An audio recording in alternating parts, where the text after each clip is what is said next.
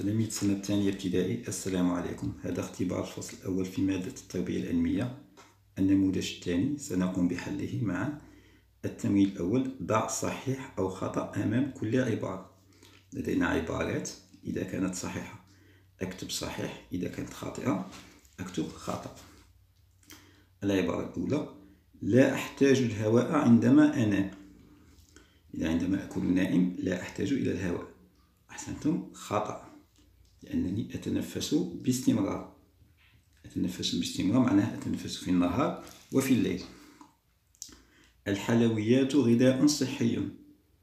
أحسنتم. حلويات غذاء صحي خطأ. حلويات مضرة للصحة. تجنب الإكثار من الحلويات. الحلويات ليست غذاء صحي. ماء البحر صالح للسقي. معناه يمكن سقي النبات بماء البحر. جيد. خطأ. ماء البحر مالح.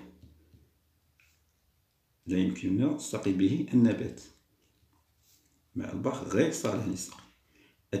أتجنب اللعب دائما أمام القمامة. القمامة هي الأوساخ لا ألعب أمام الأوساخ. أتجنب اللعب. جيد صحيح. نواصل أتناول وجبات متنوعة. جيد صحيح. متنوعة وفي أوقاتها. إذا أراجع لا أحتاج الهواء عندما أنام خطأ أتنفس باستمرار. الحلويات غذاء غير صحي. صحي خطأ. ماء البحر غير صالح للسقي. صالح للسقي خطأ. أتجنب اللعب دائما أمام القمامة. صحيح. وأتناول وجبات غذائية متنوعة. نلتقي صحيح. نلتقي إلى التمرين الثاني. املأ الفراغ بالكلمة المناسبة. لدينا كلمات يرتفع ينمو ينخفض يزداد. يرتفع ينمو ينخفض يزداد. كلمات أضعها في الفراغ. هذا فراغ. إذا أضع الكلمات.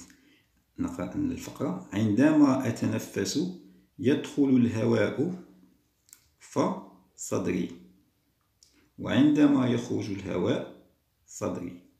إذا عند دخول الهواء ماذا يحدث لصدري؟ أحسنتم يرتفع صدري. عندما أتنفس يدخل الهواء فيرتفع صدري.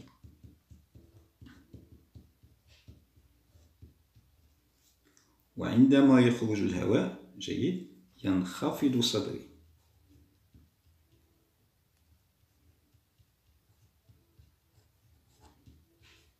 إذا دخول الهواء يرتفع صدري. وخروج الهواء ينخفض صدري. جسمي باستمرار. وزني وطولي. ماذا يحدث لجسمي؟ أحسنتم ينمو جسمي باستمرار. ينمو جسمي باستمرار. ف جيد. يزداد وزني وطولي. عندما ينمو جسمي يزداد وزني وطولي. فيزداد وزني وطولي نراجع عندما أتنفس يدخل الهواء فيرتفع صدري وعندما يخرج الهواء ينخفض صدري. ينمو جسمي باستمرار فيزداد وزني وطولي التمرين الثالث. اربط كل ظاهرة بنوعية الهواء. كل ظاهرة بنوعية الهواء. لدينا نوعان من الهواء. هواء نقي هواء ملوث هواء نقي مفيد للصحة هواء ملوث مضر للصحة. نقي ضدها ملوث.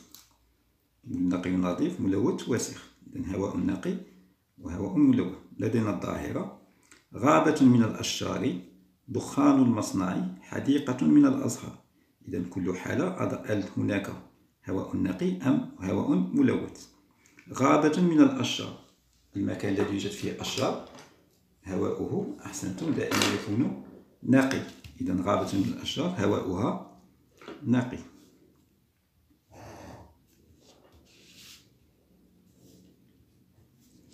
دخان المصنع الأماكن التي يكون فيها دخان المصنع هواؤها يكون جيد ملوث.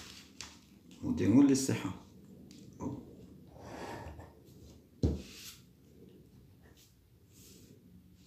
ثالثا حديقة من الأزهار. حديقة فيها أزهار. كيف يكون هواؤها؟ جيد هواء نقي.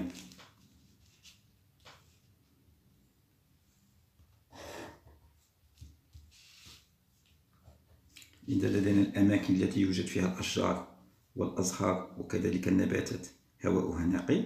بينما الأماكن التي يوجد فيها دخان المصانع هواؤها دائما يكون ملوثا ومضر للصحة. التمرين الرابع. ألون الجواب الصحيح. ألون الجواب الصحيح. لدينا جواب ثلاث أجوبة. الجواب الصحيح ألونه يمتص النبات الماء بواسطة. إذا النبات يمتص الماء. هل يمتص النبات الماء بواسطة الجذور أو بواسطة الأوراق أم بواسطة التربة أحسنتم. يمتص النبات الماء بواسطة الجذور ألون الجذور. إجابة صحيحة ألونها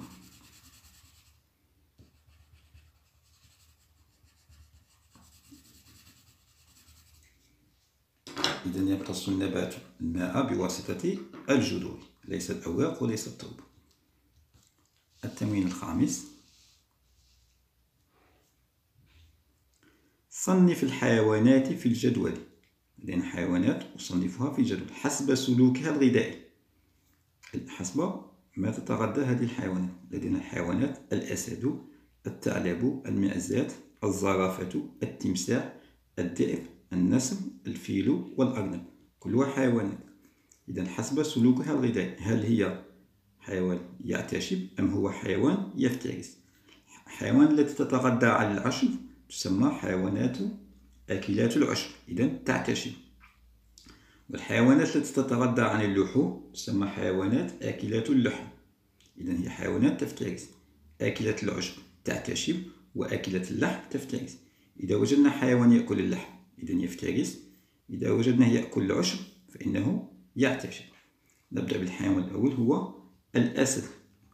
الأسد من آكلات أحسنتم اللحوم. يصطاد الزرافة يصطاد الحيوانات. إذا حيوان مفترس. سلوكه الغذائي يفترس. الأسد من آكلات اللحوم. نواصل. الثعلب. هل هو من آكلات اللحم أم من آكلات العشب؟ أحسنتم من آكلات اللحم. إذا يفترس. نضع في خانة. يفترس.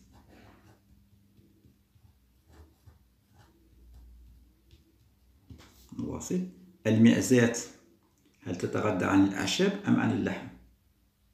جيد تتغذى عن أعشاب أو تتغذى على الأعشاب. إذا تعتشب المعزات تعتشب مثل الخروف تعتشب الزرافة كذلك هل هي من آكلات العشب أم من آكلات اللحم؟ أحسنتم آكلات العشب. إذا تعتشب الزرافة تعتشب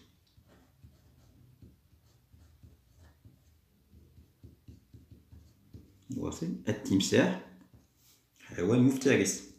يأكل إذا يفترس. التمساح يفترس.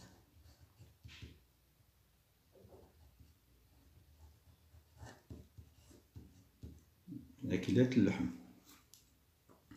الذئب هل يتغذى على اللحوم أم يتغذى على الأعشاب؟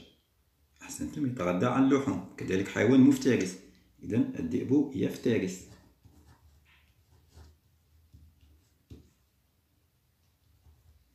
نواصل النسر طائر كذلك حيوان طائر مفترس يتغذى على اللحم. إذا نكتب في خانة يفترس.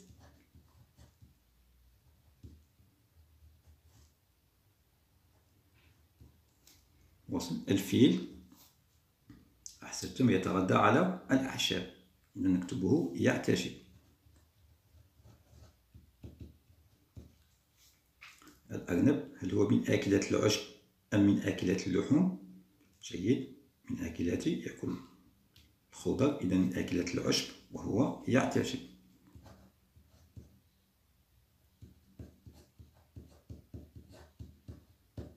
إذا نراجع الحيوانات التي تتغذى على العشب وهي المعزات الزرافة والفيل والأرنب. الحيوانات التي تتغذى على اللحوم التفتيريس هي الأسد الثعلب التمساح الذئب والنسر. وهكذا انتهينا من حل الاختبار. لا تنسوا الاشتراك في القناة وتفعيل جرس الإشعارات ليصلكم الجديد. إلى اختبار قادم إن شاء الله. والسلام عليكم.